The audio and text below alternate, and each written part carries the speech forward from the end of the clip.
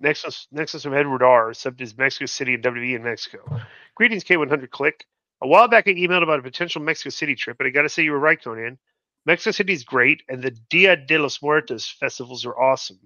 CDMX is an amazing city, and I have newfound respect for Mexico and their people. Everyone's friendly, food is incredible, service is great, and the women were bad as hell. There's a ton of money there, especially in Polanco, which is some, which is on some Beverly Hills, Roma, as you mentioned. Which leads me to my question: You all, especially Discotheque, regularly see Latino wrestlers need to learn English to get over in the U.S. to cut promos and connect with the crowd, which does make sense.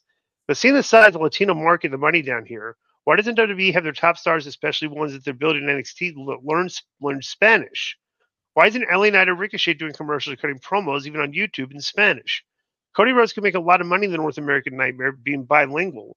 Shouldn't they advise a Carmelo Hayes or Bron Breakker to learn Spanish to anchor tour down there in the future?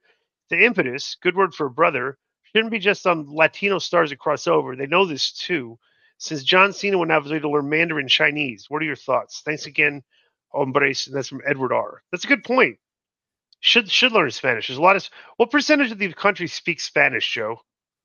In the United States. Ooh, uh, let's see. Look that up. Konnan, do you agree with that? Well, uh, let's see what he's about to say. Well, 53 million uh, 41 million are native Spanish speakers, and 12 million are bilingual.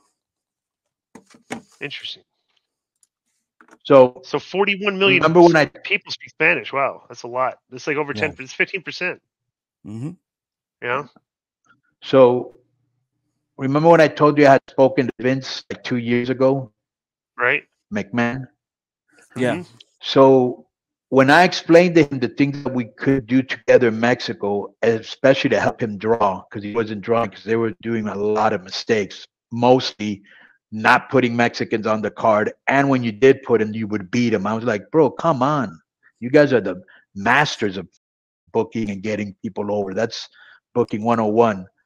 And he told me I make more money in the United States Hispanic market than I do in Mexico. I didn't say this to him, but in my head I was thinking, all right, but if you can make a million or two million or three million or whatever, that's money you're leaving on the table. You, you should expect Mexico too and get that cheese.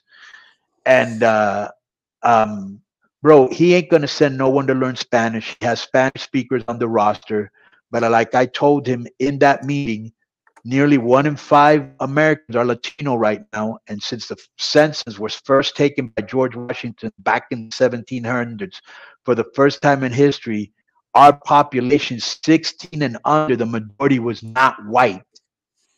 We will wow. be a majority minority in 20 years, and the biggest minority will be Latinos. So you can service now or you can service later, but you will service. So, you know, and I'm going to get paid in the future because, bro, look at music. Music is always a, a, ahead of the curve.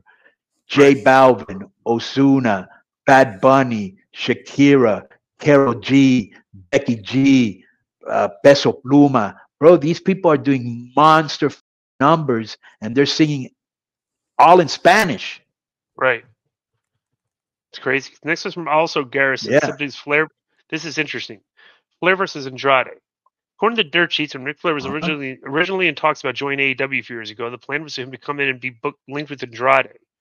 Word is that sometime around early 2022, Andrade and his wife Charlotte Flair have either separated or possibly even gotten divorced. I was wondering, do you think that now Ric Flair is in AEW, this may lead to some backstage drama? Tony Khan has been known to eas- be easily influenced. Britt, Britt Baker, Chris Jericho. Could Flair maybe getting Khan's ear to mess with Andrade's career? Konnan, I didn't. I had no idea that, that Charlotte and Andrade split up. Is that is that accurate? I think they might have been separated for a while because they took each other off of um their like oh, social and and Twitter. Right. Yeah, yeah. But uh, I have a very very credible report that on Friday he wrestled for our competition in Tijuana, and she was there with him. Really?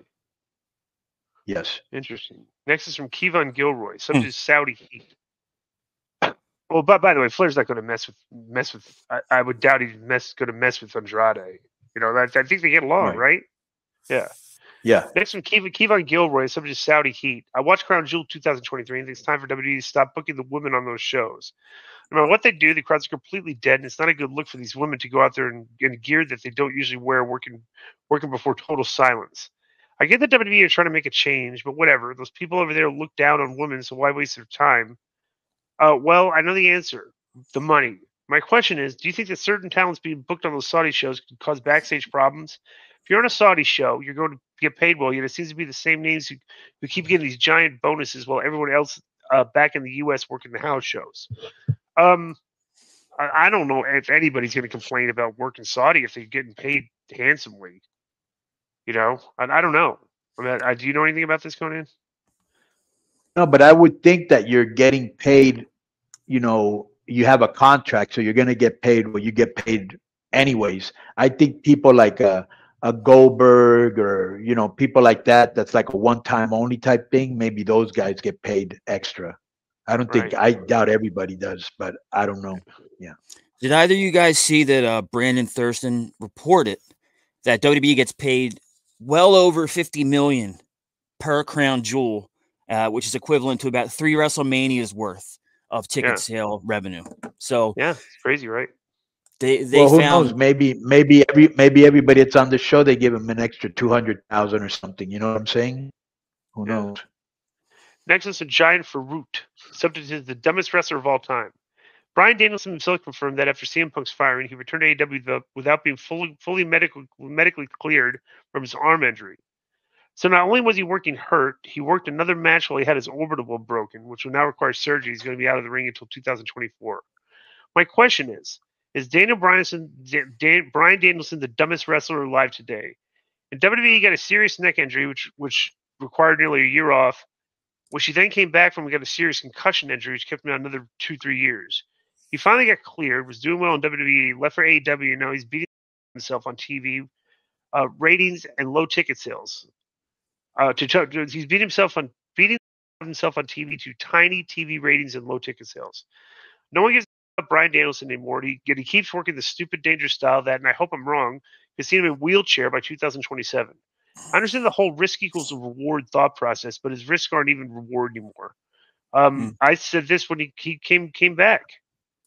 You know, the guy he still is wrestling a very rugged, rough style, and he's going to get hurt. He keeps getting hurt, and that's his Yeah. that's his fault because he keeps doing all this stuff. You know, I don't know. He's just like some. He, he's like got that that youth, like that that young reckless youth type of like style to him. You know, where he just like you know how you talk about these cats that just like you can't like you can't hold a horse back sometimes like he's he's like one of them you know yeah, that's what, What you- Angle's performances and impact were like that. People would go, "What is he doing with all these neck problems? He's doing cage moonsaults." But that was just Kurt. That's just the way he is, and that's just the way Bryan is.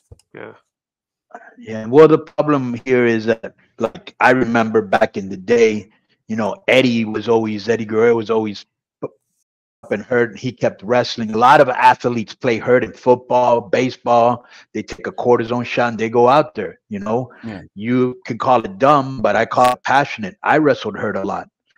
I don't think. I really don't think. I don't know about. I I don't want to speak for him, but I don't think ratings and ticket sales are on his mind as much as entertaining. Because the problem with him is all he's done is wrestle at a high level. And he's probably set the bar so high that he thinks you always have to do it, but you don't. You know, people already know you're great. This is the time where you just tone down your style and you live off, you know, your name. Like Ray toned down his style. A lot of people did because understood you don't need to get crazy, get over. Look at Cactus Jack. He used to go out, they cut his his ear got ripped off somewhere in Germany, I think. Yeah.